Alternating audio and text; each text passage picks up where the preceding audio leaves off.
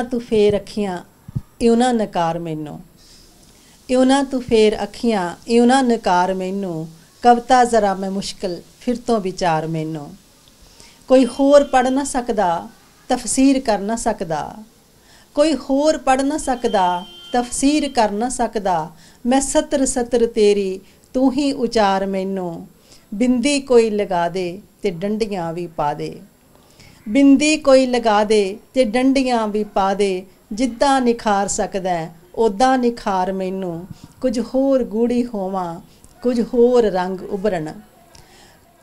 ਕੁਝ ਹੋਰ ਗੂੜੀ ਹੋਵਾਂ, ਕੁਝ ਹੋਰ ਰੰਗ ਉਭਰਨ। ਤੂੰ ਦਿਲ ਦੇ ਵਰਕਿਆਂ ਤੇ ਇਦਾਂ ਉਤਾਰ ਮੈਨੂੰ, ਜੇ ਕਹਿ ਦਏ ਤੂੰ ਮੈਨੂੰ, ਮੈਂ ਕਰਦਾ ਪਿਆਰ ਤੈਨੂੰ।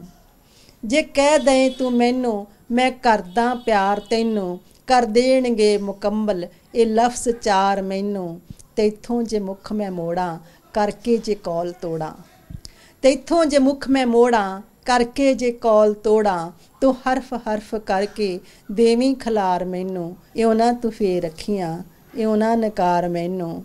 ਕਬਤਾ ਜ਼ਰਾ ਮੈਂ ਮੁਸ਼ਕਿਲ, ਫਿਰ ਤੋਂ ਵਿਚਾਰ ਮੈਨੂੰ। ਪੰਜਾਬੀ ਕਵਿਤਾ ਬਾਬਾ ਫਰੀਦ ਤੋਂ ਲੈ ਕੇ ਆਧੁਨਿਕ ਯੁੱਗ ਤੱਕ ਆ ਪਹੁੰਚੀ ਹੈ। ਮੱਧਕਾਲ ਦੇ ਵਿੱਚ ਸਾਨੂੰ ਬਹੁਤ ਜ਼ਿਆਦਾ ਕਵਿਤਰੀਆਂ ਪੜਨ ਨੂੰ ਨਹੀਂ ਮਿਲਦੀਆਂ।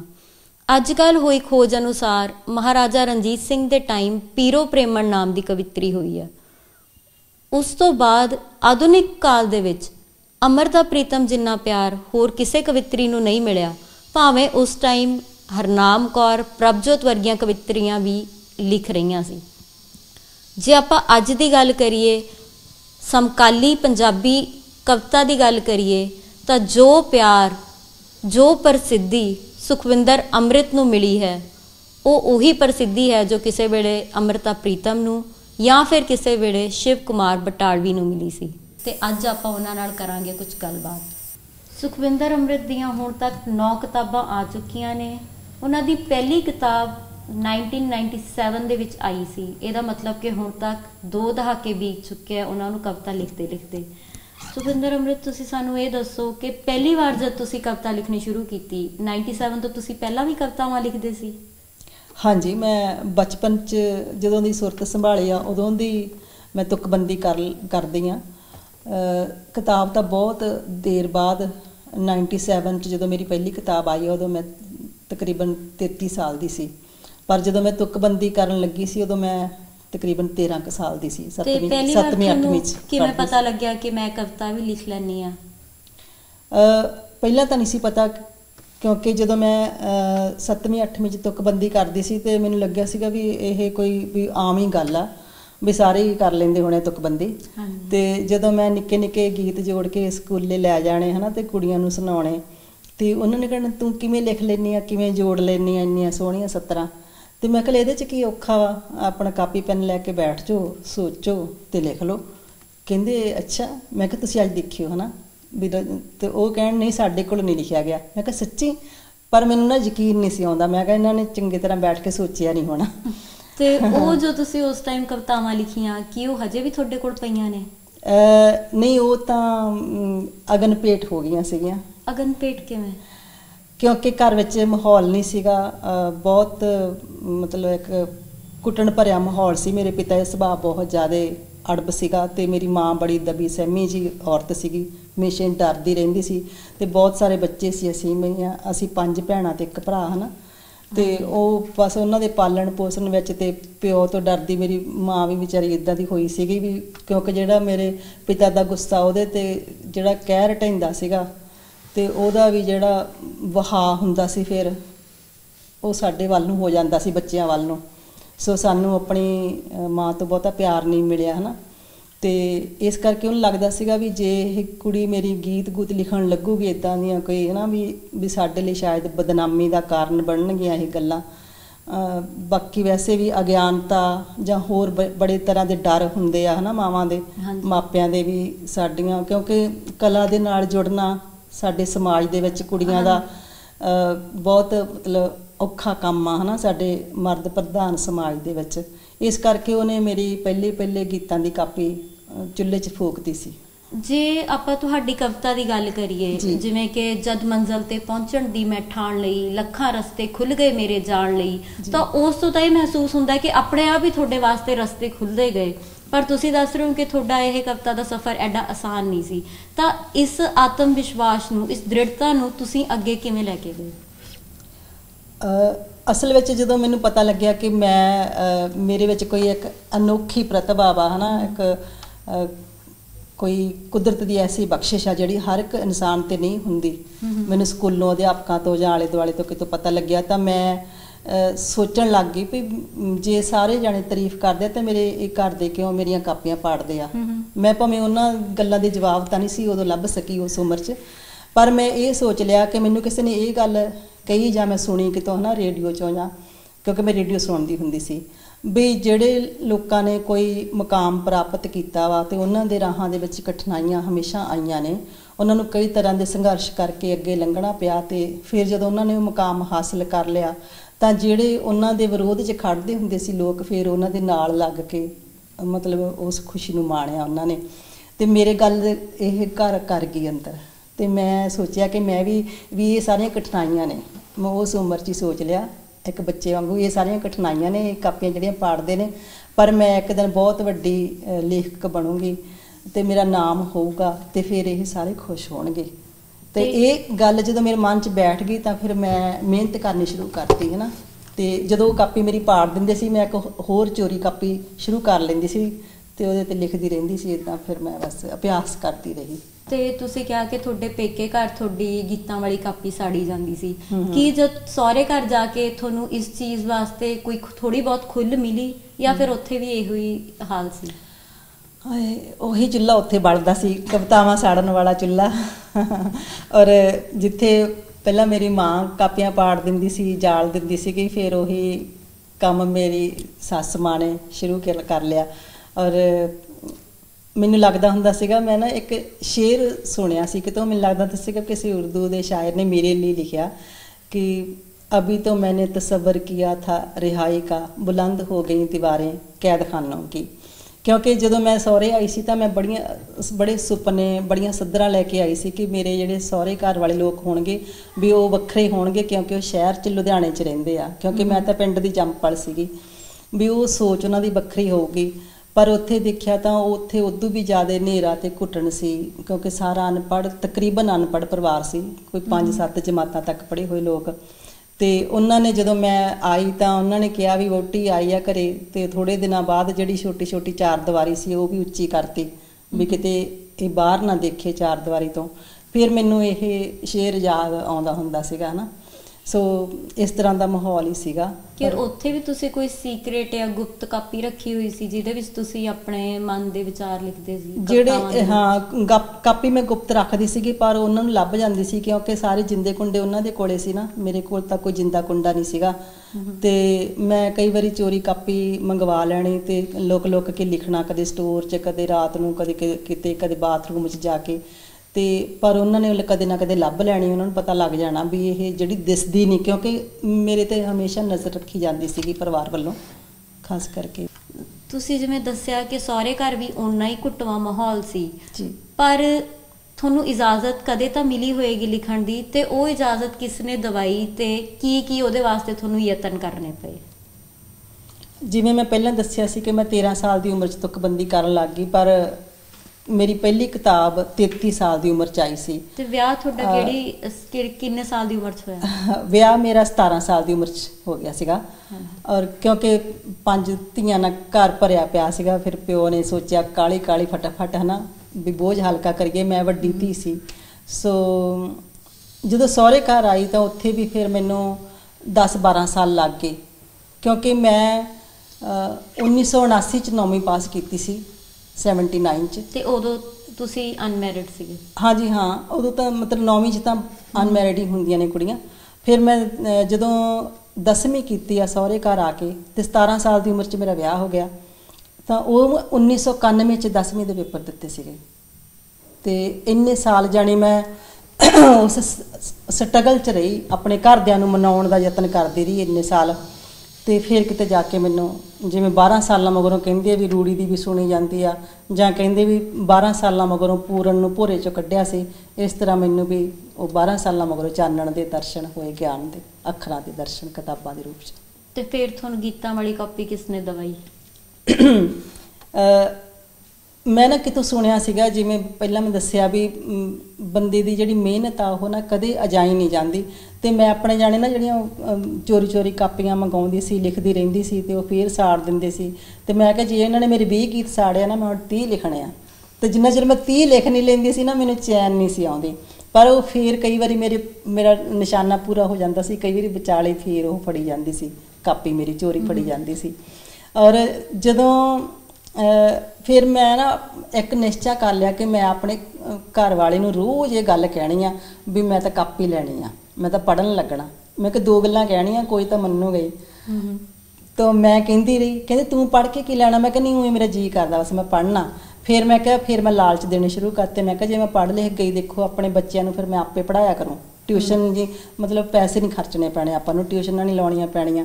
ਤੇ ਫਿਰ ਕਹਿੰਦੇ ਪਹਿਲਾਂ ਤਾਂ ਮੰਨਦੇ ਨਹੀਂ ਸੀਗੇ ਪਰ ਫਿਰ ਜਦੋਂ ਮੇਰੀ ਬੇਟੀ ਫਸਟ ਵਿੱਚ ਪੜ੍ਹਦੀ ਸੀ ਤੇ ਬੇਟਾ ਐਲਕੇਜੀ ਚ ਪੜ੍ਹਦਾ ਸੀਗਾ ਤੇ ਉਦੋਂ ਅਚਾਨਕ ਨਾ ਮੈਨੂੰ ਇੱਕ ਹੋਰ ਗੱਲ ਸੁੱਝ ਗਈ।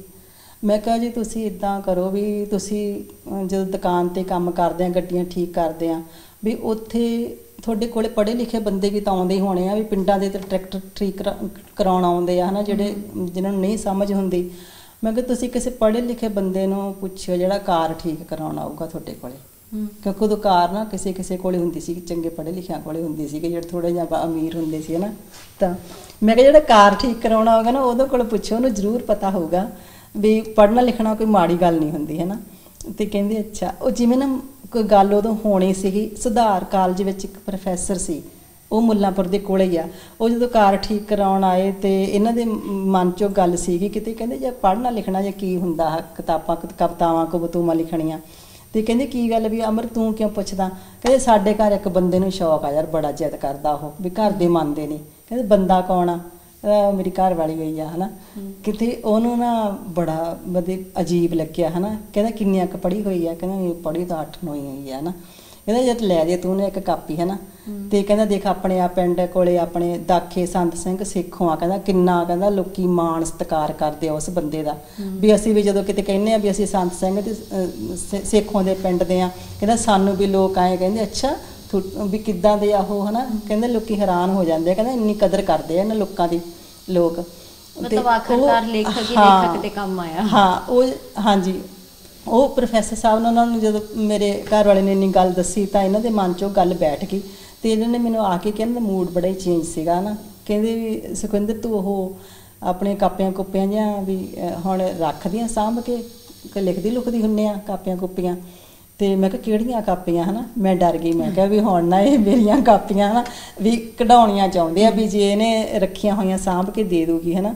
ਕਹਿੰਦੇ, ਨਹੀਂ, ਮੈਂ ਤੈਨੂੰ ਵੀ ਪੁੱਛਦਾ ਸੀ ਤੇ ਮੈਂ ਕਿਹਾ ਫੇਰ ਵੀ ਦੱਸੋ ਤਾਂ ਸਹੀ ਵੀ ਤੁਸੀਂ ਇੰਨੇ ਚਿਰ ਬਾਅਦ ਕਿਵੇਂ ਇਹ ਗੱਲ ਪੁੱਛੀ ਹੈ ਨਾ ਕਹਿੰਦੇ ਵੀ ਤੂੰ ਨਾ ਹੁਣ ਨਾ ਕਾਪੀ ਨਾ, ਮੈਂ ਤੇਰੀ ਪਾੜਿਆ ਨਹੀਂ ਕਰੂੰਗਾ ਵੀ ਤੂੰ ਲਿਖ ਲਿਆ ਕਰ ਤੇ ਤੂੰ ਦੱਸ ਤੈਨੂੰ ਮੈਂ ਕਾਪੀ ਲਿਆ ਵੀ ਦੇਣਾ ਤੇ ਉਹ ਫਿਰ ਕਰਿਆਨੇ ਵਾਲੀ ਦੁਕਾਨ ਤੋਂ ਉਦੋਂ ਮਿਲ ਜਾਂਦੀਆਂ ਸੀ ਉੱਥੇ ਇੱਕ ਕਾਪੀ ਤੇ ਇੱਕ ਪੈਨ, ਜਾਣੀ ਕਿ ਮੈਂ ਬਹੁਤ ਮਿਹਨਤਾਂ ਕੀਤੀਆਂ ਸੀ, ਜਿਹੜੀ ਚੀਜ਼ ਬਦਲੇ ਇੰਨੇ ਸਾਲ ਮਿਹਨਤਾਂ ਕੀਤੀਆਂ ਸੀ, ਤੇ ਉਹ ਜਾ ਕੇ ਇੱਕ ਕਾਪੀ ਤੇ ਪੈਨ ਲਿਆ ਤਾ ਉਹਨਾਂ ਨੇ ਮੈਨੂੰ।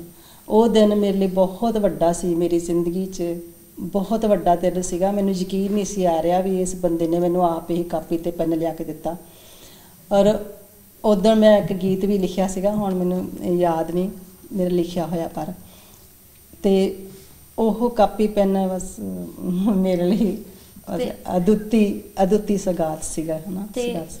ਉਹ ਕਾਪੀ ਪੈਨ ਤੋਂ ਬਾਅਦ ਜੋ ਕੁਝ ਵੀ ਤੁਸੀਂ ਉਸ ਕਾਪੀ ਤੇ ਲਿਖਿਆ ਕੀ ਉਦੋਂ ਬਾਅਦ ਤੁਸੀਂ ਕਿਸੇ ਨੂੰ ਗੁਰੂ ਮੰਨਿਆ ਜਿਸ ਨੇ ਤੁਹਾਡੀ ਕਵਿਤਾ ਨੂੰ ਸੁਧਾਰਨ 'ਚ ਤੁਹਾਡੀ ਮਦਦ ਕੀਤੀ ਹੋਵੇ? ਹਾਂਜੀ ਜਦੋਂ ਫਿਰ ਇਹ ਮੇਰੇ ਕੋਲ ਕਾਪੀ ਪੈਨ ਆ ਗਿਆ ਤੇ ਮੇਰੇ ਬਹੁਤ ਸਾਰਾ ਕੁਝ ਲਿਖ ਲਿਖ ਲਿਆ ਮੈਂ। ਤੇ ਫਿਰ ਮੈਂ ਸੋਚਾਂ ਵੀ ਕਿਉਂਕਿ ਪੜਨ ਉਦੋਂ ਬਾਅਦ ਲੱਗੀ ਸੀਗੀ ਮੈਂ ਫਿਰ ਮੈਂ ਪੜਨ ਲੱਗੀ ਜਦੋਂ ਮੈਂ ਫਿਰ ਉੱਥੋਂ ਮੈਂ ਕਿਤਾਬਾਂ ਲਿਆਇਆ ਕਰਨੀਆਂ ਤੇ ਮੈਂ ਜਿੱਥੋਂ ਸਿਲੇਬਸ ਦੀਆਂ ਕਿਤਾਬਾਂ ਮਿਲਦੀਆਂ ਸੀ ਉੱਥੇ ਜਾ ਕੇ ਮੈਂ ਕਿਹਾ ਕਰਨਾ ਵੀ ਮੈਨੂੰ ਕਵੀਆਂ ਦੀਆਂ ਕਿਤਾਬਾਂ ਚਾਹੀਦੀਆਂ। ਤੇ ਉਹਨਾਂ ਨੇ ਜਿਹੜੇ ਸਿਲੇਬਸਾਂ 'ਚ ਕਵੀ ਲੱਗੇ ਹੁੰਦੇ ਸੀਗੇ ਉਹ ਦੇ ਦੇਣੇ ਮੈਨੂੰ। ਜਿੱਦਾਂ ਮੈਨੂੰ ਅਮਰਤਾ ਪ੍ਰੀਤਮ ਦੀ ਕਿਤਾਬ ਸਨੇੜੇ ਹਨਾ? ਅ, ਉਹਨਾਂ ਦੀ ਪ੍ਰੋਫੈਸਰ ਮੋਹਨ ਸਿੰਘ ਦੀ ਕਿਤਾਬ ਬੂਹੇ ਜੰਦਰੇ ਹਨਾ ਇਦਾਂ ਫਿਰ ਨਾ ਮੈਂ ਉਹਨਾਂ ਨੂੰ ਪੜ੍ਹੀ ਜਾਣਾ। ਫਿਰ ਇੱਕ ਸ਼ਿਵ ਕੁਮਾਰ ਬਟਾਲਵੀ ਦੀ ਕਿਤਾਬ ਮੈਨੂੰ ਮਿਲੀ ਅ, ਬਿਰਹਾ ਤੂ ਸੁਲਤਾਨ। ਤੇ ਮੈਂ ਨਾ ਸ਼ਿਵ ਕੁਮਾਰ ਬਟਾਲਵੀ ਦਾ ਨਾਮ ਸੁਣਿਆ ਹੋਇਆ ਸੀਗਾ। ਮੈਂ ਕਿਹਾ ਮੈਨੂੰ ਉਹਨਾਂ ਦੀ ਕਿਤਾਬ ਦਿਓ ਲਿਆ ਕੇ। ਫਿਰ ਉਹਨਾਂ ਨੇ ਪਤਾ ਨਹੀਂ ਸਪੈਸ਼ਲ ਉਹ ਮੈਨੂੰ ਲਿਆ ਕੇ ਦਿੱਤੀ। ਤਾਂ ਮੈਨੂੰ, ਮੈਂ ਸਾਰਿਆਂ ਨੂੰ ਬਾਕੀ ਫੇਲ ਕਰਤਾ। ਮੈਂ ਕਿਹਾ ਵੀ ਆਹੀ ਕਵੀ ਆ ਬਸ। ਮੈਂ ਕਿਹਾ ਮੈਂ ਨਾ ਇਹਨੂੰ ਗੁਰੂ ਬਣਾਉਣਾ ਆਪਣਾ। ਪਰ ਮੈਂ ਨਾਲ ਹੀ ਇਹ ਪਤਾ ਲੱਗ ਗਿਆ ਵੀ ਇਹ ਤਾਂ ਦੁਨੀਆ ਤੇ ਹੈ ਨਹੀਂਗਾ ਵੀ ਇਹ ਹੁਣ ਮੈਂ ਕੀ ਕਰਾਂ, ਹਨਾ? ਮੈਂ ਕਿਹਾ ਵੀ ਜੇ ਉਹ ਇਹੋ ਜੀ ਕਵਿਤਾ ਕੋਈ ਲਿਖਦਾ ਹੋਊਗਾ, ਮੈਂ ਉਹਨੂੰ ਹੀ ਗੁਰੂ ਬਣਾਉਣਾ, ਹੋਰ ਮੈਂ ਕਿਸੇ ਨੂੰ ਬਣਾਉਣਾ ਨਹੀਂ। ਔਰ ਮੈਂ ਕਿੰਨੀਆਂ ਕਿਤਾਬਾਂ ਫਿਰ ਨਾ ਮੈਨੂੰ ਪਤਾ ਲੱਗ ਗਿਆ ਵੀ ਇਦਾਂ ਕਿਤਾਬਾਂ ਵਾਲੇ ਬਾਜ਼ਾਰ 'ਚ ਜਾ ਕੇ ਵੀ ਲਿਟਰੇਚਰ ਦੀਆਂ ਕਿਤਾਬਾਂ ਹੋਰ ਹੁੰਦੀਆਂ ਨੇ। ਫਿਰ ਮੈਨੂੰ ਕਿਸੇ ਨੇ ਦੱਸਿਆ ਉੱਥੇ ਲਾਹੌਰ ਬੁੱਕ ਸ਼ਾਪ ਉੱਥੋਂ ਜਾ ਕੇ ਸੁਰਜੀਤ ਪੱਤ ਦੀ ਕਿਤਾਬ ਲਿਆ। ਬਹੁਤ ਸਾਲਾਂ ਬਾਅਦ ਹਨਾ। ਤੇ ਫਿਰ ਉੱਥੇ ਮੈਂ ਗਈ ਹੈ ਨਾ ਮੈਂ ਉਹਨਾਂ ਨੇ ਕਿਹਾ ਵੀ ਸੁਰਜੀਤ ਪਾਤਰ ਜੀ ਦੀ ਕਿਤਾਬ ਲੈਣੀ ਆ। ਕਹਿੰਦੇ ਕਿਹੜੀ? ਮੈਂ ਕਿਹਾ ਜਿਹੜੀ ਹੈਗੀ ਦੇ ਦਿਓ ਮੈਨੂੰ ਤਾਂ ਕਿਹੜਾ ਪਤਾ ਸੀ ਹਨਾ? ਕਹਿੰਦੇ ਉਹਨਾਂ ਦੀ ਵੀ ਦੋ ਕਿਤਾਬਾਂ ਹੁਣੇ ਹੁਣੇ ਛਪੀਆਂ ਨੇ ਪਰ ਉਹ ਸਾਡੇ ਕੋਲ ਹੈ ਨਹੀਂ। ਸਾਡੇ ਕੋਲ ਇੱਕ ਨਾ ਉਹਨਾਂ ਦੀ ਸਭ ਤੋਂ ਪਹਿਲੀ ਕਿਤਾਬ ਪਈ ਆ ਹਵਾ ਵਿੱਚ ਲਿਖੇ ਹਰਫ ਉਹ ਤੁਹਾਨੂੰ ਦੇ ਦਿੰਨੇ ਆ। ਸੋ ਉਹ ਕਿਤਾਬ ਮੈਂ ਜਦੋਂ ਲੈ ਕੇ ਆਈ ਤਾਂ ਮੈਂ ਰਾਹ ਵਿੱਚ ਨਾ ਮੈਂ ਆਟੋ ਤੇ ਗਈ ਸੀ। ਸਾਡੇ ਘਰੋਂ ਅੱਧਾ ਘੰਟਾ ਲੱਗਦਾ ਆਟੋ ਤੇ ਉੱਥੇ ਜਾਣ ਨੂੰ। ਮੈਂ ਰਾਹ ਦੇ ਵਿੱਚ ਹੀ ਆਟੋ 'ਚ ਹੀ ਬੈਠੀ ਪੜ੍ਹ ਲਈ ਉਹ ਕਿਤਾਬ। ਮਤਲਬ ਅੱਧੀ ਕਪਾੜੀ ਲਈ। ਘਰ ਆ ਕੇ ਮੈਂ ਨਾ 2:30 ਵਜੇ ਤੱਕ ਦੋ ਤਿੰਨ ਵਾਰੀ ਪੜ੍ਹ ਲਈ ਤੇ ਫਿਰ 2:30 ਵਜੇ ਨਾ ਉਸ ਪ੍ਰੋਫੈਸਰ ਨੇ ਜਿਹਨੇ ਉਦੋਂ ਮੈਂ 12ਵੀਂ ਦੀ ਤਿਆਰੀ ਕਰ ਰਹੀ ਸੀ 12ਵੀਂ ਦੇ ਇਮਤਿਹਾਨ ਦੀ ਤੇ ਉਹਨਾਂ ਕੋਲੋਂ ਨਾ ਮੈਂ ਹਾਰਮੋਨੀਅਮ ਸਿੱਖਣ ਜਾਂਦੀ ਸੀ ਕਿਉਂਕਿ ਮੈਂ ਪ੍ਰੈਕਟੀਕਲ ਸਬਜੈਕਟ ਮਿਊਜ਼ਿਕ ਲਿਆ ਸੀਗਾ। ਤੇ ਉਹ ਉਹਨਾਂ ਨੇ ਦੱਸਿਆ ਸੀ ਮੈਨੂੰ ਜਦੋਂ ਮੇਰਾ ਨਾ 2:30 ਵਜੇ ਟਾਈਮ ਹੋ ਗਿਆ ਉਦੋਂ ਤੱਕ ਮੈਂ ਦੋ ਤਿੰਨ ਵਾਰੀ ਕਿਤਾਬ ਪੜ੍ਹ ਲਈ ਵਿੱਚੋਂ ਸ਼ੇਰ ਵੀ ਯਾਦ ਕਰ ਲਏ ਕਿਉਂਕਿ ਮੈਂ 10 ਵਜੇ ਕਿਤਾਬ ਲੈਣ ਚਲੀ ਗਈ ਸੀ ਦੁਕਾਨ ਖੁੱਲਣ ਤੋਂ ਪਹਿਲਾਂ ਹੀ ਦੁਕਾਨ ਲੇਟ ਖੁੱਲੀ। ਔਰ ਮੈਨੂੰ ਇੰਨਾ ਜਾਣੀ ਚਾਹ ਸੀਗਾ ਹਨਾ। ਤੇ ਉਹਨਾਂ ਨੂੰ ਮੈਂ ਕਿਹਾ ਨਾ ਜਾ ਕੇ ਮੈਂ ਕਿਹਾ ਵੀ ਮੈਨੂੰ ਨਾ ਮੈਂ ਸੁਰਜੀਤ ਪਾਤਰ ਜੀ ਦੀ ਕਿਤਾਬ ਲਿਆਂਦੀ ਤੇ ਮੈਂ ਪੜ੍ਹ ਵੀ ਲਈ ਹਨਾ। ਤੇ ਮੈਂ ਕਿਹਾ ਹੁਣ ਤੁਸੀਂ ਮੈਨੂੰ ਦੱਸੋ ਵੀ ਸੁਰਜੀਤ ਪਾਤਰ ਜੀ ਕਿੱਥੇ ਮਿਲਣਗੇ? ਕਹਿੰਦੇ ਕਿਉਂ ਮੈਂ ਕਿਹਾ ਮੈਂ ਉਹਨਾਂ ਨੂੰ ਗੁਰੂ ਬਣਾਉਣਾ ਆਪਣੇ। ਫਿਰ ਉਹ ਕਹਿੰਦੇ ਵੀ ਉਹ ਤਾਂ ਯੂਨੀਵਰਸਿਟੀ ਪੜਾਉਂਦੇ ਨੇ ਵੀ ਪਰ ਘਰ ਵੀ ਇੱਧਰ ਹੀ ਆ ਉਹਨਾਂ ਦਾ ਹਨਾ ਆਪਣੇ ਘਰਾਂ ਵੱਲ ਹੀ ਆ। ਤੁਸੀਂ ਸੁਰਜੀਤ ਪਾਤਰ ਨੂੰ ਤੁਸੀਂ ਕਿਹਾ ਕਿ ਤੁਹਾਨੂੰ ਉਹਨਾਂ ਦੀ ਕਵਿਤਾ ਇੰਨੀ ਵਧੀਆ ਲੱਗੀ ਕਿ ਤੁਸੀਂ ਉਹਨਾਂ ਨੂੰ ਅੱਧੇ ਘੰਟੇ ਦੇ ਵਿੱਚ ਇੱਕ ਕਿਤਾਬ ਪੜ੍ਹ ਲਈ ਤੇ ਤੁਸੀਂ ਇਹ ਆਪਣੇ ਮਨ 'ਚ ਧਾਰ ਲਿਆ ਕਿ ਤੁਸੀਂ ਉਹਨਾਂ ਨੂੰ ਹੀ ਗੁਰੂ ਮੰਨਣਾ। ਤੁਹਾਡੀ ਪਹਿਲੀ ਮੁਲਾਕਾਤ ਉਹਨਾਂ ਨਾਲ ਕਿਹੋ ਜਿਹੀ ਰਹੀ? ਹਾਂਜੀ ਫਿਰ ਉਹ ਜਿੱਥੇ ਮੈਂ ਪੀਰੀਅਡ ਲਾਉਣ ਗਈ ਸੀ 뮤직 ਦਾ ਤੇ ਉਹ ਉਹਨਾਂ ਉਹਨਾਂ ਦਾ ਮੈਂ ਖੜੇ ਨਹੀਂ ਛੱਡਿਆ। ਮੈਂ ਕਿਹਾ ਮੈਨੂੰ ਹੁਣੇ ਲੈ ਕੇ ਜਾਓ। ਚਾਹੇ ਯੂਨੀਵਰਸਿਟੀ ਲੈ ਜਾਓ ਚਾਹੇ ਉਹਨਾਂ ਦੇ ਘਰੇ ਲੈ ਜਾਓ ਵੀ ਮੈਂ ਤਾਂ ਹੁਣੇ ਹੀ ਮਿਲਣਾ ਉਹਨਾਂ ਨੂੰ। ਸਿਖਰ ਦੁਪਹਿਰੇ ਗਰਮੀਆਂ ਦੇ ਦਿਨ ਉਹ ਵਿਚਾਰੇ ਇਹਨਾਂ ਨੂੰ ਇੰਨਾ ਮੈਂ ਮਜਬੂਰ ਕਰਤਾ ਉਹ ਮੈਨੂੰ ਆਪਣੇ ਸਕੂਟਰ ਦੇ ਪਿੱਛੇ ਬਿਠਾ ਕੇ ਉਹਨਾਂ ਦੇ ਘਰੇ ਲੈ ਕੇ ਕਹਿੰਦੇ ਵੀ ਲੰਚ ਟਾਈਮ ਆ ਵੀ ਸ਼ਾਇਦ ਘਰੇ ਹੀ ਹੋਣ। ਕਿਉਂਕਿ ਨਾ ਸਾਡੇ ਏਰੀਏ 'ਚ ਹੀ ਆ ਯੂਨੀਵਰਸਿਟੀ ਉਹਨਾਂ ਦਾ ਘਰ ਸਾਡਾ ਘਰ, ਦੂਰ ਨਹੀਂ ਜ਼ਿਆਦਾ। ਜਦੋਂ ਅਸੀਂ ਘਰੇ ਗਏ, ਫਿਰ ਮੇਰੀ ਖੁਸ਼ਨਸੀਬੀ ਨੂੰ ਘਰ ਹੀ ਸੀਗੇ ਉਹ। ਤੇ ਉਹਨਾਂ ਨੇ ਫਿਰ ਪ੍ਰੋਫੈਸਰ ਸਾਹਿਬ ਨੇ ਦੱਸਿਆ ਵੀ ਇਹ ਕੁੜੀ ਹੈ ਜਿਹੜੀ ਵੀ ਇਹ ਵੀ ਇਹਨੂੰ ਬਹੁਤ ਲਿਖਣ ਦਾ, ਪੜ੍ਹਨ ਦਾ ਸ਼ੌਕ ਆ। ਤੇ ਤੁਹਾਡੀਆਂ ਕਵਿਤਾਵਾਂ ਇਹਨੂੰ ਬੜੀਆਂ ਚੰਗੀਆਂ ਲੱਗੀਆਂ ਵੀ ਤੁਹਾਨੂੰ ਆਪਣੇ ਗੁਰੂ ਬਣਾਉਣਾ ਚਾਹੁੰਦੀ ਆ, ਵੀ ਤੁਸੀਂ ਇਹਨੂੰ ਆਸ਼ੀਰਵਾਦ ਦਿਓ। ਤੇ ਉਹਨਾਂ ਨੇ ਫਿਰ ਮੈਨੂੰ ਆਸ਼ੀਰਵਾਦ ਦਿੱਤਾ ਤੇ ਉਹਨਾਂ ਨੇ ਕਿਹਾ ਵੀ ਮੈਨੂੰ ਦਿਖਾ। ਤੇ ਮੈਂ ਕਿਹਾ ਵੀ ਮੈਂ ਐਤਵਾਰ ਨੂੰ ਲੈ ਕੇ ਆਉਂਗੀ। ਫਿਰ ਮੈਂ ਅਗਲੇ ਐਤਵਾਰ ਨਾ ਨਵੀਆਂ ਲਿਖ ਕੇ ਲੈ ਕੇ ਗਈ ਸੀ। ਕਿਉਂਕਿ ਉਹਨਾਂ ਦੀ ਕਿਤਾਬ ਪੜ੍ਹ ਕੇ ਨਾ ਮੇਰੇ ਅੰਦਰੋਂ ਇਦਾਂ ਗਜ਼ਲ ਫੁੱਟ-ਫੁੱਟ ਕੇ ਨਿਕਲਣ ਲੱਗ ਗਈ ਵੀ ਮੈਂ ਦਿਨ ਰਾਤ ਬੈਠ ਕੇ ਗਜ਼ਲਾਂ ਲਿਖਣ ਲੱਗ ਗਈ। ਮੈਂ ਆਪਣੇ ਗੀਤ, ਆਪਣੀਆਂ ਕਵਿਤਾਵਾਂ, ਪੁਰਾਣੀਆਂ ਸਾਰੀਆਂ ਛੱਡਤੀਆਂ ਰਾਤੋਂ ਰਾਤ ਮੇਰੀ ਕਵਿਤਾ ਦਾ ਰੁਖ ਬਦਲ ਗਿਆ ਪੜਨ ਦੇ ਨਾਲ ਉਹਨਾਂ ਨੂੰ। ਤੇ ਮੈਂ ਕਿੰਨੀਆਂ ਸਾਰੀਆਂ ਨਵੀਆਂ ਗਜ਼ਲਾਂ ਜਾਣੀ ਕਿ ਉਹਦੇ ਵਿੱਚੋਂ ਮੈਂ 8-10 ਗਜ਼ਲਾਂ ਲੈ ਕੇ ਗਈ ਉਹਨਾਂ ਦੇ ਕੋਲੇ। ਮੈਂ ਕਿ ਮੈਂ ਆਹ ਦੇਖੋ, ਆਹ ਲਿਖਦੀ ਆ ਤੇ ਉਹ ਨਵੀਆਂ ਨਵੀਆਂ ਲਿਖੀਆਂ ਸੀ ਤੇ ਉਹ ਬਹੁਤ ਵੱਖਰੀਆਂ ਸੀਗੀਆਂ ਤੇ ਸੋਹਣੀਆਂ ਸੀਗੀਆਂ ਯਾਨੀ ਕਿ ਮੈਨੂੰ ਆਪਣੇ ਆਪ ਨੂੰ ਵੀ ਲੱਗਿਆ ਵੀ ਹਾਂ ਮੈਂ ਇਹੋ ਜਿਹੀਆਂ ਚੀਜ਼ਾਂ ਲਿਖਣੀਆਂ ਚਾਹੁੰਦੀ ਸੀਗੀ। ਤੁਹਾਨੂੰ ਇੱਕ ਨਵਾਂ ਮੋੜ ਮਿਲਿਆ। ਹਾਂ। ਇੱਕ ਸੇਧ ਮਿਲੀ ਮੈਨੂੰ ਸੇਧ ਮਿਲੀ ਉਹਨਾਂ ਦੀ ਸ਼- ਉਹਨਾਂ ਦੇ ਉਹਨਾਂ ਦੇ ਜਣ ਲਿਖਤਾਂ ਤੋਂ ਹੀ। ਤੇ ਮ, ਫਿਰ ਉਹਨਾਂ ਨੇ ਦੇਖ ਕੇ ਆ ਬੜੇ ਹੈਰਾਨ ਹੋਏ ਬੜੇ ਖੁਸ਼ ਹੋਏ। ਕਹਿੰਦੇ ਇਹ ਤਾਂ ਛਪਣ ਯੋਗ ਨੇ ਕਿਤੇ ਇਹਨਾਂ ਨੂੰ ਛਾਪਣ ਲਈ ਭੇਜ। ਮੈਂ ਕਿਹਾ ਵੀ ਕਿੱਥੇ ਭੇਜੀਆਂ ਦੇ ਕਹਿੰਦੇ ਵੀ ਤੁਹਾਡੇ ਅਖਬਾਰ ਕਿਹੜਾ ਆਉਂਦਾ? ਮੈਂ ਕਿਹਾ ਸਾਡੇ ਤਾਂ ਕੋਈ ਨਹੀਂ ਆਉਂਦਾ। ਫਿਰ ਉਹਨਾਂ ਨੂੰ ਹੈਰਾਨੀ ਹੋਈ ਹਨਾ? ਫਿਰ ਕਹਿੰਦੇ ਇੱਕ ਤਾਂ ਅਖਬਾਰ ਲਵਾਓ। ਤੇ ਫਿਰ ਉਹਨਾਂ ਨੇ ਅਖਬਾਰਾਂ ਦੇ ਐਡਰੈਸ ਮੈਗਜ਼ੀਨਾਂ ਦੇ ਐਡਰੈਸ ਮੈਨੂੰ ਦਿੱਤੇ ਕਹਿੰਦੇ ਇੱਥੇ ਇੱਕ ਇੱਕ ਭੇਜ ਦੇ ਸਾਰਿਆਂ ਨੂੰ। ਫਿਰ ਬਸ ਉਦੋਂ ਅਹ, 93 ਚ ਮੇਰੀ ਪਹਿਲੀ ਰਚਨਾ ਛਪੀ ਸੀ। ਤਾਂ ਉਦੋਂ ਤੁਹਾਨੂੰ ਪਹਿਲੀ ਵਾਰ ਕਿਵੇਂ ਮਹਿਸੂਸ ਹੋਇਆ? ਜਦੋਂ ਪਹਿਲੀ ਵਾਰ ਘਰੇ ਅਖਬਾਰ ਆਇਆ ਤੇ ਅਖਬਾਰ 'ਚ ਤੁਹਾਡੀ ਕਵਿਤਾ ਛਪੀ ਹੋਈ ਸੀ? ਹਾਂਜੀ ਜਿਹੜੀ 93 ਚ ਛਪੀ ਸੀ ਉਹ ਤਾਂ ਮੈਨੂੰ ਉਹਨਾਂ ਨੇ ਜਾਣੀ ਬਾਈ ਹੈਂਡ ਹੀ ਦਿੱਤਾ ਸੀਗਾ ਮੈਗਜ਼ੀਨ ਉਹ ਚੰਡੀਗੜ੍ਹ ਤੋਂ ਜਨਕ ਰਾਜ ਸਿੰਘ ਹੈਗੇ ਸਿਰਨਾਮਾ ਮੈਗਜ਼ੀਨ ਕੱਢਦੇ ਉਹ ਚ ਦੋ ਗਜ਼ਲਾਂ ਛਪੀਆਂ ਸੀ ਮੇਰੀਆਂ।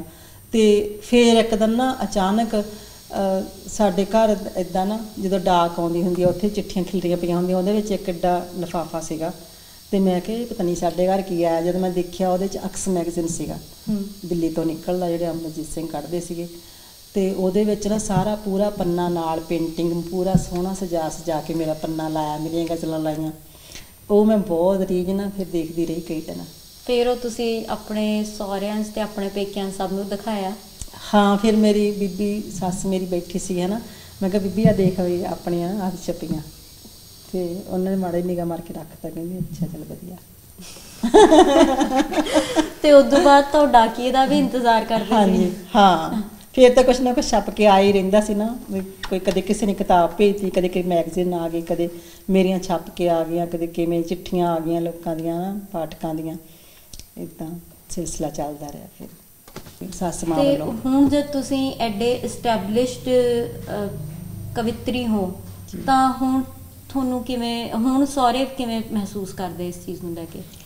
ਹਾਂਜੀ ਇੱਕ ਗੱਲ ਮੈਂ ਦੱਸੀ ਆ ਕਈ ਵਾਰੀ ਵੀ ਹੁਣ ਜਦੋਂ ਕੋਈ ਮੇਰੀ ਨਵੀਂ ਕਿਤਾਬ ਛਪ ਕੇ ਆਉਂਦੀ ਆ ਹਨਾ ਤਾਂ। ਫਿਰ ਮੇਰੀ ਸੱਸ ਮਾਂ ਕਹਿੰਦੀ ਆ ਨਾ ਵੀ ਬਿੰਦਰ ਹੁਣ ਆਪਣੀਆਂ ਕੈ ਕਿਤਾਬਾਂ ਹੋ ਗਈਆਂ ਤੇ ਮਤਲਬ ਹੁਣ ਤੇਰੀਆਂ ਤੋਂ ਆਪਣੀਆਂ ਤੱਕ ਦਾ ਸਫ਼ਰ ਤੁਸੀਂ ਤੈਅ ਕਰ ਹਾਂਜੀ। ਮਤਲਬ ਇਦਾਂ ਫਿਰ ਮੈਨੂੰ ਚੰਗਾ ਲੱਗਦਾ ਵੀ ਚਲੋ ਇਹਨਾਂ ਨੂੰ ਅੰਦਰ ਖਾਤੇ ਕਿਤੇ ਖੁਸ਼ੀ ਹੋ ਰਹੀ ਆ ਮਾਣ ਹੋ ਰਿਹਾ ਜਾਂ ਕਈ ਵਾਰੀ ਆਏ ਨਾ ਬਾਹਰ ਦੁਪਹਿਰ ਤੱਕ ਹੁਣ ਤਾਂ ਨਹੀਂ ਰਹੇ ਹਨਾ ਪਰ ਬਾਹਰ ਬੈਠੇ ਰਹਿਣਾ ਦੁਪਹਿਰ ਤੱਕ ਹਨਾ ਤੇ ਜੇ ਕਿਸੇ ਨੇ ਲੰਘਦੇ ਟੱਪਦੇ ਨੇ ਪੁੱਛਣਾ ਬੀਬੀ ਕੀ ਗੱਲ ਬੈਠੀਆਂ ਇਕੱਲੀ ਹੋ ਹਨਾ ਪੁੱਤ ਹਜੇ ਡਾਕੀਆ ਨਹੀਂ ਆਇਆ ਤੈਨੂੰ ਪਤਾ ਸਾਡੀ ਬਹੂ ਦੀ ਡਾਕ ਬਹੁਤ ਆਉਂਦੀ ਆ।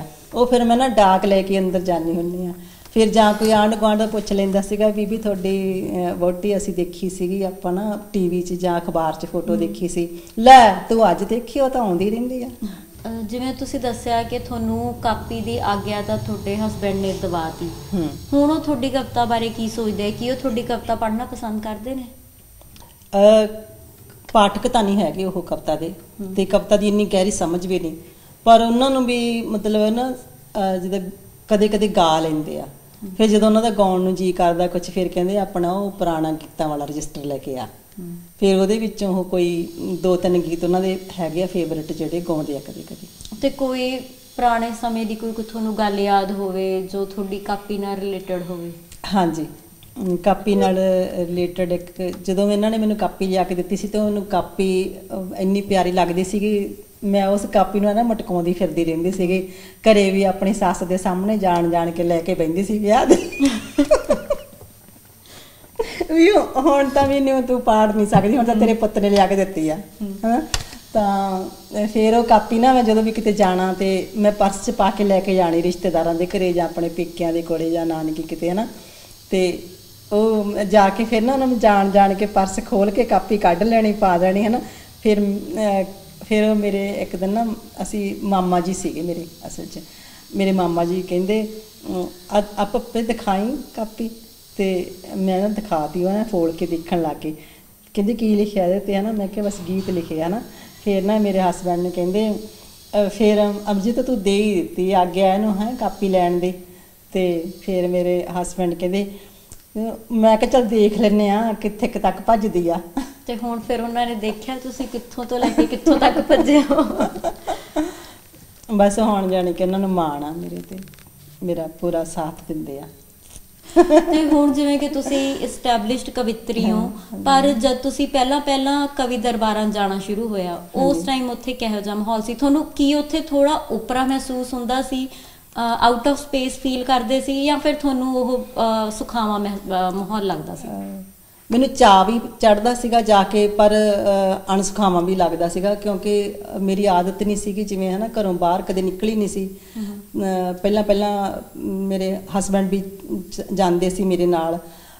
ਪਰ ਜਦੋਂ ਮੈਂ ਇਕੱਲੀ ਜਾਂਦੀ ਸੀ ਤਾਂ ਮੈਨੂੰ ਲੱਗਦਾ ਸੀ ਕਿਉਂਕਿ ਉੱਥੇ ਔਰਤਾਂ ਦੀ ਗਿਣਤੀ ਬਹੁਤ ਘੱਟ ਹੁੰਦੀ ਸੀਗੀ। ਤੇ ਬਾਕੀ ਇੱਕ ਹੋਰ ਵੀ ਕਈ ਤਰ੍ਹਾਂ ਦੇ ਬੜੇ ਕੌੜੇ ਅਨੁਭਵ ਵੀ ਹੈਗੇ ਆ ਮੇਰੇ ਕਿ ਜਿਹੜੇ ਸਾਡੇ ਪੁਰਸ਼ ਲੇਖਕ ਸੀਗੇ ਸਾਹਿਤਕਾਰ ਉਹ ਮਤਲਬ ਇੱਕ ਨਵੀਂ ਆਈ ਕੁੜੀ ਨੂੰ ਛੇਤੀ ਉਹਦੀ ਸਪੇਸ ਨਹੀਂ ਦਿੰਦੇ। ਕਿਸੇ ਇਹ ਮੈਂ ਸੁਣਿਆ ਵੀ ਕਿਸੇ ਵੀ ਖੇਤਰ 'ਚ ਇਦਾਂ ਹੀ ਹੁੰਦਾ। ਮਤਲਬ ਉਹਨੂੰ ਇੱਕ ਐਜ਼ ਅ ਨਾਰੀ ਐਜ਼ ਅ ਕੁੜੀ ਦੇਖਿਆ ਜਾਂਦਾ ਉਹਦੇ ਜਿਹੜੀ ਅੰਦਰ ਪ੍ਰਤਿਭਾ ਹੁੰਦੀ ਆ ਉਹਨੂੰ ਅੱਖੋਂ ਪਰੋਖੇ ਕਰਨ ਦੀ ਕੋਸ਼ਿਸ਼ ਕੀਤੀ ਜਾਂਦੀ ਆ। ਜਾਂ ਫਿਰ ਜੇ ਕੋਈ ਕੁੜੀ ਮਿਹਨਤ ਨਾਲ ਮੁਕਾਮ ਕੋਈ ਪ੍ਰਾਪਤ ਕਰ ਲੈਂਦੀ ਆ ਤਾਂ ਉਹਦੇ ਪਿੱਛੇ ਫਿਰ ਦੇਖਿਆ ਜਾਂਦਾ ਕਿਸੇ ਪੁਰਸ਼ ਦਾ ਹੱਥ ਜਾਂ ਦੇਖਣ ਦੀ ਕੋਸ਼ਿਸ਼ ਕੀਤੀ ਜਾਂਦੀ ਵੀ ਇਹਦੇ ਪਿੱਛੇ ਪੁਰਸ਼ ਕੌਣ ਆ? ਵੀ ਕਿਸੇ ਪੁਰਸ਼ ਨੇ ਇਹਨੂੰ ਇੱਥੇ ਤੱਕ ਲਿਆਂਦਾ ਹੋਊਗਾ ਜਾਂ ਜੇ ਨਾ ਵੀ ਲੱਭੇ ਤਾਂ ਜੋੜ ਦਿੱਤਾ ਜਾਂਦਾ। ਤੇ ਮੈਂ ਇਸ ਗੱਲ ਦੇ ਜਵਾਬ ਚ ਉਹਨਾਂ ਨੂੰ ਕਹਿੰਨੀ ਹੁੰਨੀ ਆ ਵੀ ਜਦੋਂ ਤੁਸੀਂ ਇਹ ਕਹਿੰਨੇ ਆ ਕਿ ਜਿਹੜੀ ਕਾਮਯਾਬ ਮਰਦ ਦੇ ਪਿੱਛੇ ਕਿਸੇ ਸਿਆਣੀ ਔਰਤ ਦਾ ਹੱਥ ਹੁੰਦਾ ਵੀ ਕੀ ਜਿਹੜੀ ਉਹ ਸਿਆਣੀ ਔਰਤ ਆਪਣੇ ਇੱਕ ਹੱਥ ਨਾਲ ਉਸ ਪੁਰਸ਼ ਨੂੰ ਕਾਮਯਾਬ ਕਰ ਸਕਦੀ ਉਹ ਆਪਣੇ ਸਾਰੇ ਵਜੂਦ ਨਾਲ ਸਾਰੇ ਹੱਥਾਂ ਨਾਲ ਉਹ ਆਪ ਕਿਉਂ ਨਹੀਂ ਕਾਮਯਾਬ ਹੋ ਸਕਦੀ? ਤੇ ਤੁਹਾਨੂੰ ਅਹ, ਜਦ ਤੁਸੀਂ ਪਹਿਲੀ ਵਾਰ ਕਵੀ ਦਰਬਾਰ 'ਚ ਜਾਂਦੇ ਸੀ ਉਦੋਂ ਤੁਸੀਂ ਇੱਕ ਔਰਤ ਵਜੋਂ ਪ੍ਰਤੀਨਿਧਤਾ ਹਾਸਲ ਕਰਦੇ ਸੀ। ਪਰ ਹੁਣ ਜਦੋਂ ਤੁਸੀਂ ਇੱਕ ਕਵਿਤਰੀ ਵਜੋਂ ਐਸਟੈਬਲਿਸ਼ ਹੋ ਚੁੱਕੇ ਹੋ ਉਦੋਂ ਤੁਹਾਨੂੰ ਕੋਈ ਫ਼ਰਕ ਮਹਿਸੂਸ ਹੁੰਦਾ ਬਾਕੀਆਂ ਦੇ ਐਟੀਟਿਊਡ ਦੇ ਵਿੱਚ ਜਾਂ ਬਾਕੀ ਤੁਹਾਡੇ ਨਾਲ ਹੁਣ ਕਿਵੇਂ ਬਿਹੇਵ ਕਰਦੇ ਆ ਇਸ ਚੀਜ਼ ਨੂੰ ਲੈ ਕੇ? ਕਿਉਂਕਿ ਤੁਹਾਡੀ ਕਵਿਤਾ ਹੈ ਇੱਕ ਬਹੁਤ ਸਾਰਿਆਂ ਦੀ ਫੇਵਰਿਟ ਕਵਿਤਾ ਹੈ ਕਿ ਭਵਰਿਆਂ ਦੀ ਹਰ ਮਹਿਫਿਲ ਇਹੋ ਮੁੱਦਾ ਉਠਾਉਂਦੀ ਹੈ, ਉਹਨਾਂ ਦੇ ਹੁੰਦਿਆਂ ਤਿਤਲੀ ਦੇ ਸਿਰ ਤੇ ਤਾਜ ਕਿਉਂ ਹੋਵੇ? ਤਾਂ ਉਹ ਤਾਜ ਹਾਸਲ ਕਰਨ ਵਾਸਤੇ ਤੁਹਾਨੂੰ ਕੀ ਕੀ ਸਹਿਣਾ ਪਿਆ ਜਾਂ ਕਿਵੇਂ ਤੁਸੀਂ ਇਹ ਤਾਜ ਹਾਸਲ ਕੀਤਾ? ਜਿਹੜਾ ਤਾਜ ਮੈਨੂੰ ਹਾਸਲ ਮੈਂ ਮਹਿਸੂਸ ਕਰਦੀ ਆ ਕਿ ਮੈਨੂੰ ਤਾਜ ਹਾਸਲ ਹੋਇਆ ਮੈਂ ਕਹਿ ਸਕਦੀ ਆ ਉਹ ਮੇਰੇ ਪਾਠਕਾਂ ਦਾ ਪਿਆਰ ਆ। ਔਰ ਜਿਹੜੇ ਉਹ ਰਾਈਟਰ ਜਾਂ ਉਹ ਬੰਦੇ ਸੀਗੇ ਜਿਹੜੇ ਮੈਨੂੰ ਉਦੋਂ ਮੇਰੀ ਸਪੇਸ ਨਹੀਂ ਸੀ ਦੇ ਰਹੇ ਉਹ ਅਜੇ ਵੀ ਸੋਚਦੇ ਵੀ ਇਹ ਬੜੇ ਥੋੜੇ ਚਿਰ ਵਿੱਚ ਦੀ ਇਹ ਇੱਥੇ ਕਿਵੇਂ ਪਹੁੰਚ ਗਈ ਹੈ ਨਾ ਵੀ ਅਸੀਂ ਤੈਨੂੰ ਬਥੇਰਾ ਰੋਕਣ ਦੀ ਕੋਸ਼ਿਸ਼ ਕਰਦੇ ਸੀ ਬੜੀਆਂ ਇਹਦੀਆਂ ਹਾਂਜੀ ਤੁਸੀਂ ਨੌ ਕਿਤਾਬਾਂ ਦੇ ਵਿੱਚ ਹੀ। ਉਹ ਮੁਕਾਮ ਹਾਸਲ ਕਰ ਲਿਆ ਜੋ। ਬਹੁਤ ਸਾਰੇ ਲੇਖਕਾਂ ਨੇ ਬਹੁਤ ਜ਼ਿਆਦਾ ਕਿਤਾਬਾਂ ਲਿਖਣ ਤੋਂ ਬਾਅਦ ਵੀ ਨਹੀਂ ਹਾਸਲ ਨਹੀਂ ਕੀਤਾ ਮੇਰੇ ਨਾਲ ਅਸਲ ਵਿੱਚ ਪਹਿਲੀਆਂ ਦੋ ਤਿੰਨ ਕਿਤਾਬਾਂ ਦੇ ਨਾਲ ਹੀ ਮੈਂ ਬਹੁਤ ਜ਼ਿਆਦਾ ਮਤਲਬ Popular ਹੋ ਮਤਲਬ ਮੈਨੂੰ ਪਿਆਰ ਮਿਲਣ ਲੱਗ ਗਿਆ ਸੀ ਮੈਨੂੰ ਮਹਿਸੂਸ ਹੋਣ ਲੱਗ ਗਿਆ ਸੀਗਾ ਕਿਉਂਕਿ ਜਦੋਂ ਮੇਰੀ ਦੂਸਰੀ ਕਿਤਾਬ ਚ ਰਾਗਾਂ ਦੀ ਡਾਰ ਲੜੀਵਾਰ ਜੱਗ ਬਾਣੀ ਚ ਛਪ ਰਹੀ ਸੀ ਇੱਕ ਤਾਂ ਉਹ ਸੀਗੀ ਕਿ ਪਹਿਲਾਂ ਉਸ ਤੋਂ ਪਹਿਲਾਂ ਕਦੀ ਕਵਿਤਾ ਕੋਈ ਲਗਾਤਾਰ ਛਪੀ ਨਹੀਂ ਸੀ ਇਸ ਤਰ੍ਹਾਂ ਤੇ ਜਦੋਂ ਛਪ ਰਹੀ ਸੀ ਮੇਰਾ ਐਡਰੈਸ ਉਹ ਲਿਖ ਦਿੰਦੇ ਸੀਗੇ ਤਾਂ ਮੇਰੇ ਘਰ ਵਿੱਚ ਇੰਨੀਆਂ ਚਿੱਠੀਆਂ ਆਉਂਦੀਆਂ ਸੀ ਕਿਉਂਕਿ ਉਦੋਂ ਚਿੱਠੀਆਂ ਦਾ ਜ਼ਮਾਨਾ ਸੀ ਟੈਲੀਫੋਨ ਨਹੀਂ ਸੀ ਜ਼ਿਆਦਾ ਲੋਕਾਂ ਦੇ ਘਰਾਂ 'ਚ ਤੇ ਮੈਂ ਉਹ ਚਿੱਠੀਆਂ ਨੂੰ ਪਹਿਲਾਂ ਮੈਨੂੰ ਪਤਾ ਹੀ ਨਹੀਂ ਸੀ ਕਿ ਮੈਂ ਤਾਂ ਸਾਰਿਆਂ ਨੂੰ ਆਉਂਦੀਆਂ ਹੋਣੀਆਂ ਨੇ। ਜਿਵੇਂ ਤੁਹਾਨੂੰ ਲੱਗਦਾ ਸੀ ਕਿ ਸਾਰੇ ਲਿਖ ਸਕਦੇ ਨੇ। ਫਿਰ ਜਦੋਂ ਉਹਨਾਂ ਨੇ ਕਿਸੇ ਨੇ ਸਾਡੇ ਘਰੇ ਆਉਣਾ ਹਨਾ ਉਹ ਤੇ ਉਹਨਾਂ ਨੇ ਕਹਿਣਾ ਵੀ ਆਹ ਚਿੱਠੀਆਂ ਤੇਰੀਆਂ ਮੈਂ ਕਹੇ ਇਹ ਅੱਜ ਆਈਆਂ ਨੇ। ਤੇ ਖਾਸ ਕਰਕੇ ਜਦੋਂ ਕਿਸੇ ਰਾਈਟਰ ਨੇ ਆਉਣਾ ਹਨਾ ਲੇਖਕ ਨੇ ਤੇ ਉਹਨਾਂ ਨੇ ਕਹਿਣਾ ਅੱਛਾ ਤੇ ਇੰਨੀਆਂ ਚਿੱਠੀਆਂ ਆਉਂਦੀਆਂ? ਮੈਂ ਕਿਹਾ ਹਾਂਜੀ ਮੈਂ ਕਿਹਾ ਤੁਹਾਨੂੰ ਨਹੀਂ ਆਉਂਦੀਆਂ? ਕਹਿੰਦੇ ਨਹੀਂ। ਪਾਤਰ ਸਾਹਿਬ ਬਾਰੇ ਤੁਸੀਂ ਇੱਕ ਮੁਰਸ਼ਦਨਾਮਾ ਵੀ ਲਿਖਿਆ ਹੈ। ਹਾਂਜੀ। ਉਹਦੀਆਂ ਕੁਝ ਸਤਰਾਂ ਸਾਨੂੰ ਜ਼ਰੂਰ ਸੁਣਾਓ। ਕੁਝ ਸਤਰਾਂ ਜਿੰਨੇ ਕਿ ਮੈਨੂੰ ਮੂੰਹ ਜ਼ਬਾਨੀ ਯਾਦ। ਹਨ ਉਹ ਇੱਕ ਗਜ਼ਲ ਦੀ ਫਾਰਮ ਚ ਲਿਖਿਆ ਮੈਂ ਤੇ ਜਿਹਦਾ ਕਿ ਰਦੀਫ ਆ ਪਾਤਰ ਹੈ ਨਾ। ਉਹ ਹੈਗਾ ਮੁਹੱਬਤ ਵੇਦਨਾ ਨੇਕੀ ਹਲੀਮੀ ਤੇ ਵਫਾ ਪਾਤਰ। ਮੁਹੱਬਤ ਵੇਦਨਾ ਨੇਕੀ ਹਲੀਮੀ ਤੇ ਵਫਾ ਪਾਤਰ ਮਿਲਾ ਕੇ ਪੰਜ ਤੱਤ ਇਕਸਾਰ ਰੱਬ ਨੇ ਸਿਰਜਿਆ ਪਾਤਰ। ਉੱਥੇ ਹੁਣ ਵੀ ਕੀ ਤੁਸੀਂ ਉਹ। ਅਭਿਆਸ ਜਾਰੀ ਰੱਖਿਆ ਹੈ? ਜਾਂ ਫਿਰ ਹੁਣ ਤੁਸੀਂ ਜੋ ਇੱਕ ਵਾਰ ਲਿਖ ਦਿੰਦੇ ਹੋ ਕਾਗਜ਼ ਦੇ ਉੱਤੇ ਉਹੀ ਤੁਹਾਡੀ ਫਾਈਨਲ ਕਵਿਤਾ ਬਣ ਨਹੀਂ ਅਭਿਆਸ ਨਾਲ ਚੱਲਦਾ ਰਹਿੰਦਾ। ਜਿਵੇਂ ਸੰਗੀਤਕਾਰਾਂ ਨੂੰ ਰਿਆਜ਼ ਕਰਨਾ ਪੈਂਦਾ ਹਨਾ? ਜਿਹੜੇ ਗਾਉਂਦੇ ਨੇ। ਇਸੇ ਤਰ੍ਹਾਂ ਲਿਖਣ ਵਾਲਿਆਂ ਨੂੰ ਵੀ ਰਿਆਜ਼ ਕਰਨਾ ਪੈਂਦਾ।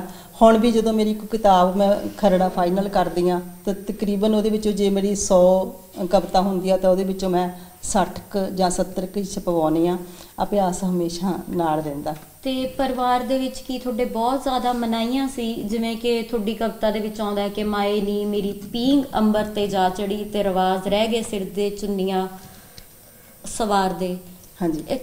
ਕੀ ਮਤਲਬ ਉਸ ਟਾਈਮ ਦੇ ਰਿਵਾਜ ਉਸ ਟਾਈਮ ਦੀਆਂ ਰੀਤੀਆਂ ਉਸ ਟਾਈਮ ਦੇ ਤੁਹਾਡੇ ਘਰ ਦੇ ਕੀ ਤੁਹਾਨੂੰ ਪਿੱਛੇ ਨੂੰ ਖਿੱਚਦੇ ਸੀਗੇ ਬਿਲਕੁਲ ਕੁੜੀਆਂ ਨੂੰ ਤਾਂ ਇੱਕ ਤਰ੍ਹਾਂ ਨਾਲ ਪਿੰਜਰੇ 'ਚ ਤਾੜ ਕੇ ਰੱਖਿਆ ਜਾਂਦਾ ਸਾਡੇ ਆਲੇ ਦੁਆਲੇ ਬੜੇ ਤਰ੍ਹਾਂ ਦੀਆਂ ਕੰਧਾਂ ਹੁੰਦੀਆਂ ਪਰੰਪਰਾ ਦਾ ਪਿੰਜਰਾ ਹੁੰਦਾ ਹਨਾ ਰੀਤਾਂ ਰਿਵਾਜ ਸਾਰੇ ਜਿਹੜੇ ਕੁੜੀਆਂ ਦੇ ਵਿਰੋਧ ਮਤਲਬ ਜਿੰਨੇ ਵੀ ਤੁਸੀਂ। ਰੂਪਕ ਵਰਤੇ ਨੇ ਉਹ। ਤੁਹਾਡੇ ਆਪ ਦੇ ਜੀਵਨ ਚੋਂ ਵਰਤੇ? ਬਿਲਕੁਲ ਬਿਲਕੁਲ ਮੇਰੀ ਬਹੁਤੀ ਕਵਿਤਾ ਮੇਰੇ ਅਨੁਭਵ ਚੋਂ ਹੀ ਨਿਕਲੀ ਆ ਔਰ ਜਿਹੜਾ ਮੇਰਾ ਅਨੁਭਵ ਆ ਉਹ ਮੇਰਾ ਸਿਰਫ ਮੇਰਾ ਨਹੀਂ ਅਨੁਭਵ ਇਹ ਮੈਂ ਮਹਿਸੂਸ ਕਰਦੀ ਆ ਵੀ ਸਾਡੀਆਂ ਬਹੁਤ ਸਾਰੀਆਂ ਕੁੜੀਆਂ ਦਾ ਸਾਡੇ ਸਮਾਜ ਦੇ ਵਿੱਚ।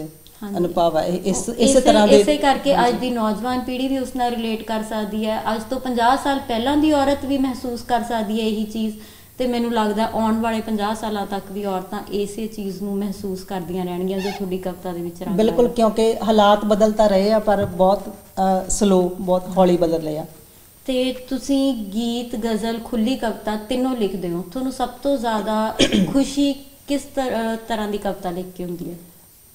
ਬਸ ਜਿਹੜੀ ਚੀਜ਼ ਬਹੁਤ ਮੇਰੇ ਮਨ ਦੇ ਧੁਰ ਅੰਦਰੋਂ ਨਿਕਲੇ ਔਰ ਉਹਦੇ ਵਿੱਚ ਬਹੁਤ ਸ਼ਿੱਦਤ ਹੋਵੇ ਔਰ ਮੈਨੂੰ ਚਾਹੇ ਕਵਿਤਾ ਹੋਵੇ ਗਜ਼ਲ ਹੋਵੇ ਗੀਤ ਹੋਵੇ ਮੈਨੂੰ ਉਹ ਉਹੀ ਪਸੰਦ ਆ।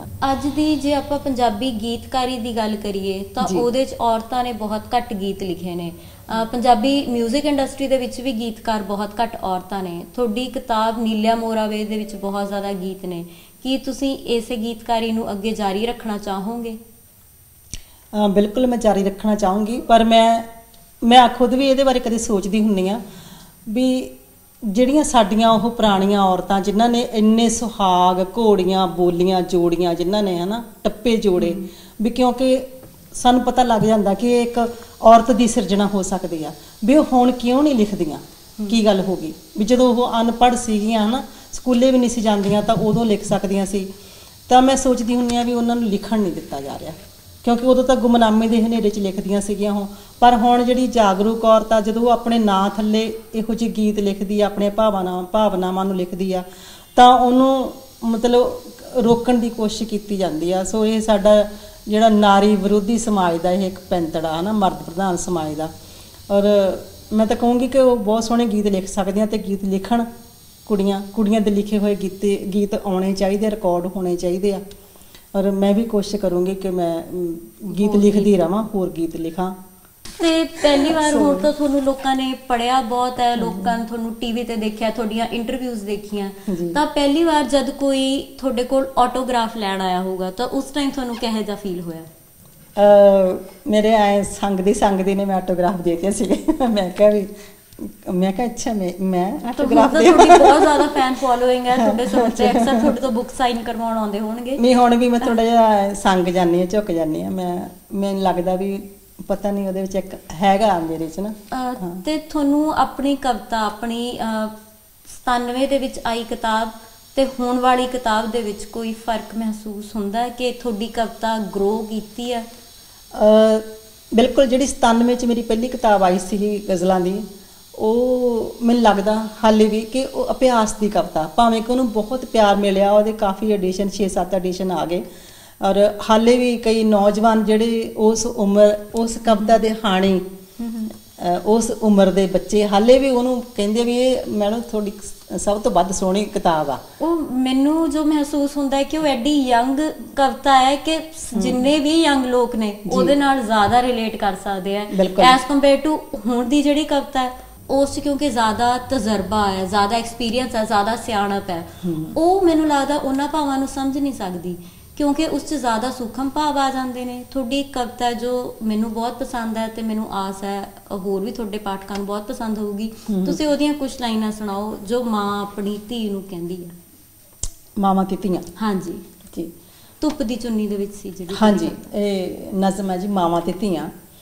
ਹਰ ਯੁੱਗ ਵਿੱਚ ਮਾਵਾਂ ਆਪਣੀਆਂ ਧੀਆਂ ਨੂੰ ਕੁਛ ਨਾ ਕੁਛ ਜ਼ਰੂਰ ਆਖਦੀਆਂ ਨੇ। ਜੋ ਜ਼ਿੰਦਗੀ ਵਿੱਚ ਉਹਨਾਂ ਦੇ ਕੰਮ ਆਵੇ ਉਹਨਾਂ ਦਾ ਰਾਹ ਰੁਸ਼ਨਾਵੇ ਮੇਰੀ ਮਾਂ ਨੇ ਮੈਨੂੰ ਆਖਿਆ ਸੀ, ਸਿਆਣੀਆਂ ਕੁੜੀਆਂ ਲੁਕ ਲੁਕ ਕੇ ਰਹਿੰਦੀਆਂ ਤੁਖ ਤੁਖ ਕੇ ਜਿਉਂਦੀਆਂ, ਝੁਕ ਝੁਕ ਕੇ ਤੁਰਦੀਆਂ, ਨਾ ਉੱਚਾ ਬੋਲਦੀਆਂ, ਨਾ ਉੱਚਾ ਹੱਸਦੀਆਂ, ਕੁੜੀਆਂ ਆਪਣਾ ਦੁੱਖ ਕਿਸੇ ਨੂੰ ਨਹੀਂ ਦੱਸਦੀਆਂ, ਬਸ ਧੂਏ ਦੇ ਪੱਜ ਰੋਂਦੀਆਂ ਤੇ ਕੰਧਾਂ ਦੇ ਓਲੇ ਘੁੱਗ ਵਸਦੀਆਂ।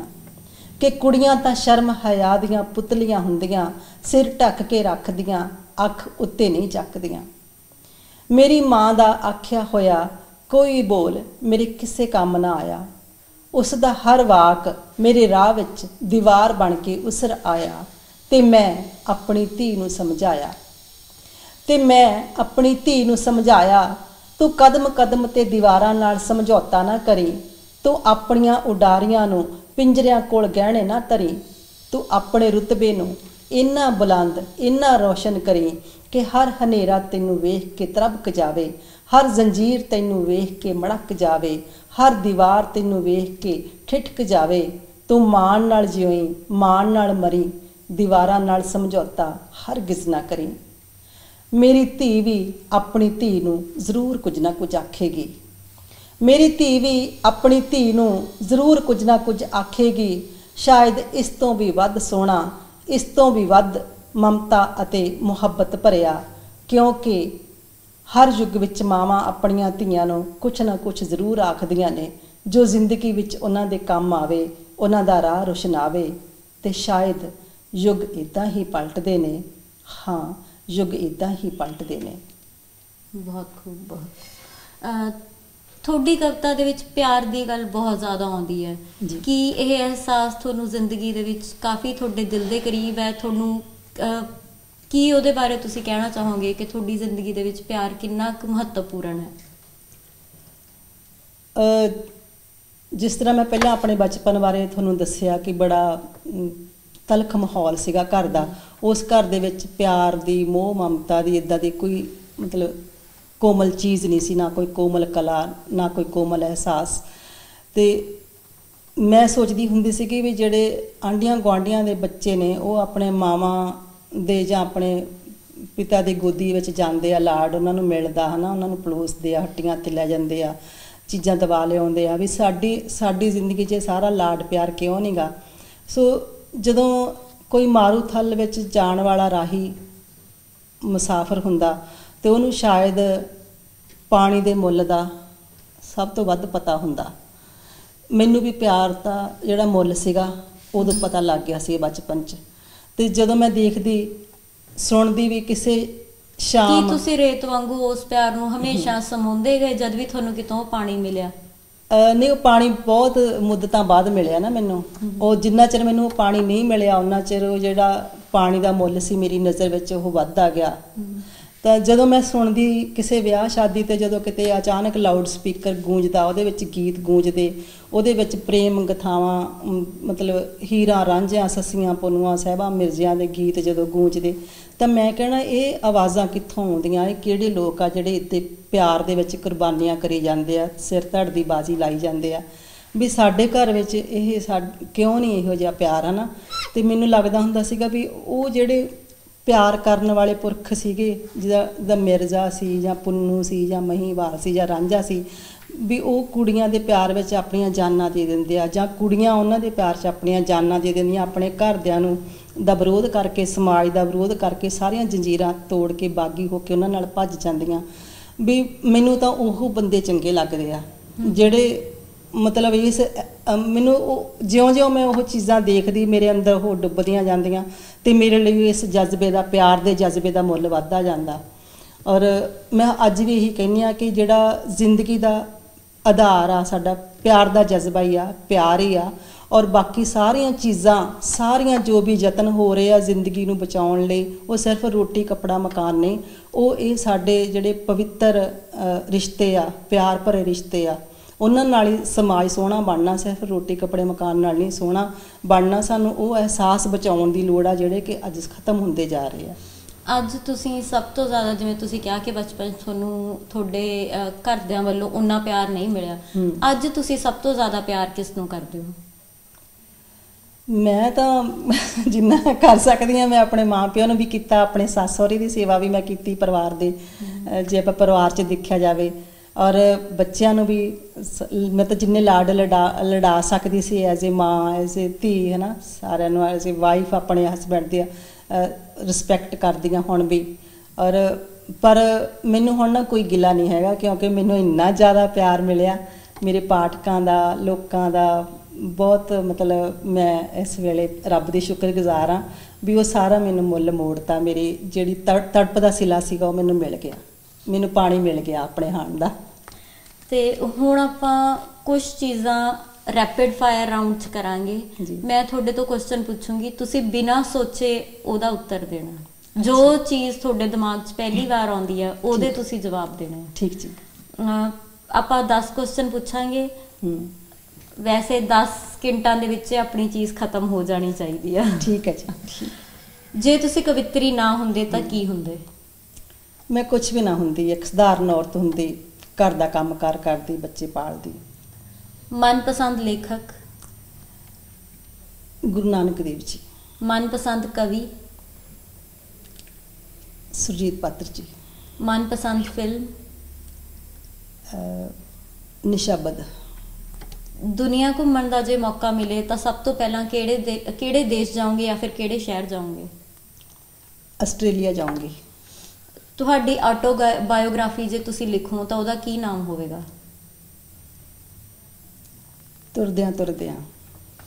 ਮਨਪਸੰਦ ਪਕਵਾਨ? ਕਣਕ ਦੀ ਰੋਟੀ ਤੇ ਮੂੰਗੀ ਮਸਰੀ ਦੀ ਦਾਲ। ਬਚਪਨ ਦੀ ਪਸੰਦੀਦਾ ਕਿਤਾਬ? ਇਸ਼ਕ ਜਿਨ੍ਹਾਂ ਦੇ ਹੱਡੀ ਰਚਿਆ। ਚਾਹ ਪੀਣੀ ਪਸੰਦ ਕਰਦੇ ਹੋ ਜਾਂ ਕੌਫੀ? ਚਾਹ। ਅੰਮ੍ਰਿਤ ਵੇਲਾ ਕਿ ਛਾਹ ਵੇਲਾ? ਅੰਮ੍ਰਿਤ ਵੇਲਾ। Yeah.